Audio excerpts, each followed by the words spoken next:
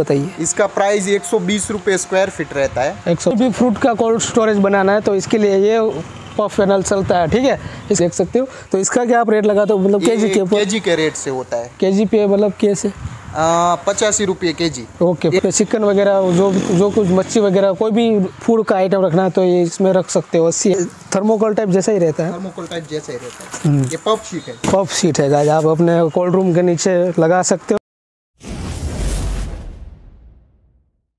तो hello guys स्वागत है आप सभी के आपके अपने चैनल विलेज बॉय में। तो गाइस आप लोगों का बहुत सारा रिक्वायरमेंट रहता था कि भाई पॉप पैनल का वीडियो बनाओ पॉप पैनल का वीडियो बनाओ। तो गाइस आज मैं आपके लिए लेके आ गया हूँ पॉप पैनल का वीडियो यहाँ पे आप देख सकते हो। और हाँ हमारे साथ रहेंगे प्लॉट के ओनर हमको सारी जानकारी देंगे क्या है क्या रेट है इन सब का ठीक है?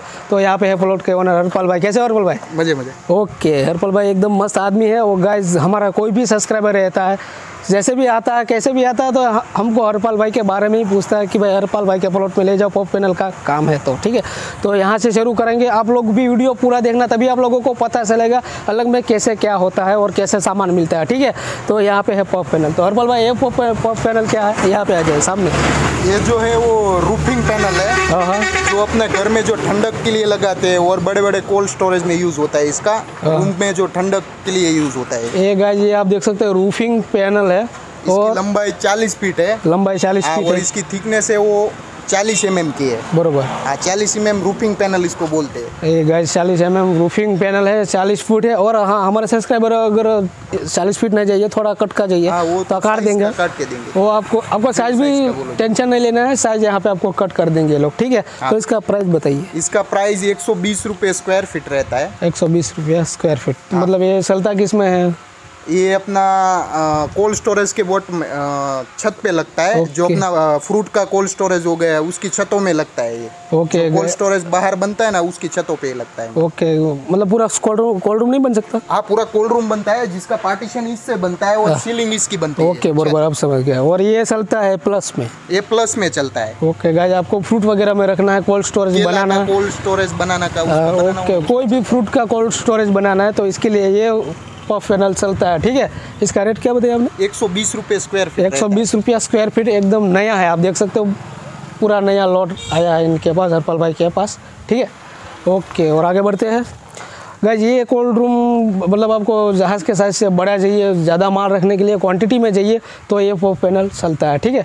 ये रहा। ये पचास एम एम वॉल पैनल है। वॉल पैनल हाँ ये जो कोल्ड स्टोरेज बनता है ना उसकी दीवालों में लगता है। बरोबर बरोबर। इसकी दीवार बनती है और इसका सद बनता है रूफिंग पैनल बरोबर। पहले जो दिखाया वो वो ऊपर का रूफिंग है ये। और ये इसका पार्टीशन लगता है। बरोबर चारों तरफ़ का पार्टीशन इसका लगता है और छत उसकी लगती है। बरोबर बरोबर। ओके मतलब ये दोनों मिला के पूरा कोल्ड हाँ, रूम पूरा cold storage तैयार होता है। ओके गाइस और अभी क्या है ऑफ़िस बनाने में वो वो सब यूज़ में आता है। ज़्यादातर ये ऑफ़िस वगैरह बना हर पल ने बनाया है छोटा मोटा आप देख सकते हो यहाँ पे।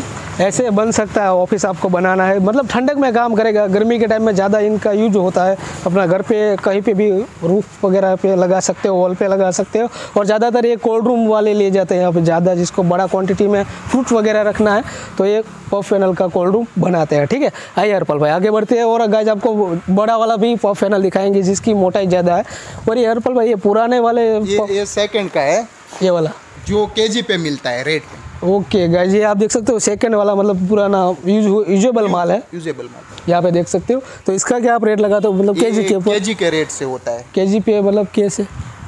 पचासी रुपये के जी ओके पचास रुपये के जी ओके एटी फाइव रुपया के जी आप देख सकते हो ये वाला फोक पैनल इसका लंबाई क्या है पल भाई? इसमें लंबाई अपने पास अठारह फीट तेरह फीट और हाँ। सब अलग अलग साइज़ का रहता है। बरोबर ये सब मटेरियल ओके आप देख सकते हो।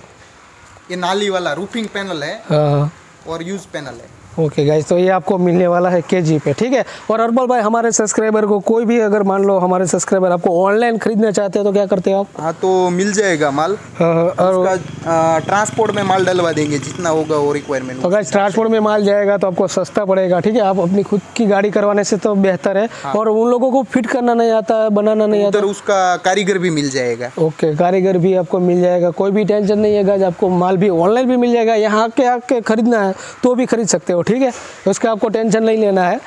आइए आगे बढ़ते हैं और बहुत सारा। सी एम एम पैनल है। ये वाला। ओके गाइज़ ये वाला है C M M puff panel हाँ ये जिसको माइनस दस तक चलाना हो ना उसको चलता है। कोल्ड स्टोरेज के अंदर यूज़ होता है। ओके गाइज़ ये माइनस दस में चलता है। आप सोच सकते हो आपको माइनस दस में क्या चलता है जो भी चलता है आप चला सकते हो इसमें। चिकन हाँ, वगैरह मच्छी वगैरह चलता है? ओके गाइज़ आप इस पे चिकन वगैरह जो जो कुछ मच्छी वगैरह कोई भी फ़ूड का आइटम रखना है तो ये इसमें रख सकते हो अस्सी एम एम में। अस्सी एम एम इसकी भी लंबाई चालीस फीट ही है ओके गाइज़ इसकी भी लंबाई चालीस फीट है। आप देख सकते हैं एकदम नया माल हाँ। आया है। ये ये क्या ये जो है वो इंसुलेशन पफ है जो बड़े बड़े कोल्ड स्टोरेज जो बनते हैं उसके बॉटम में जो लगता है ना नीचे मतलब। नीचे नीचे बिछा के इसके ऊपर आरसीसी आर सी रोड़ी कर देते हैं। हाँ।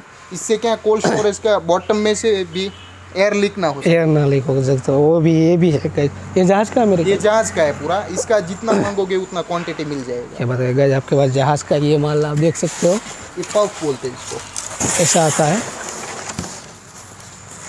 ये वाला गाइज़ थर्मोकोल टाइप जैसा ही रहता है। थर्मोकोल टाइप जैसा ही रहता है। ये पफ शीट है। पफ सीट है गाइस आप अपने कोल्ड रूम के नीचे लगा सकते हो। और ऊपर वो माल वाल भर देना है फिर बन जाएगा ठीक है। तो पैनल का प्लॉट है इसका एड्रेस मैं आपको बता देता हूँ। प्लॉट का नाम है सतनाम ट्रेडर्स आप यहाँ पे देख सकते हो।